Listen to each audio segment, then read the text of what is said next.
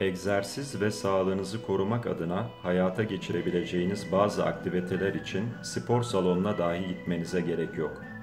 Evde çok basit ve pahalı olmayan elastik egzersiz bandı ve benzeri ekipmanlar yardımıyla vücudunuzun tüm bölgelerini çalıştırmaya imkan verecek hareketleri yapmak üzere 20-30 dakika ayırma disiplin ve iradesini ortaya koymanız yeterli.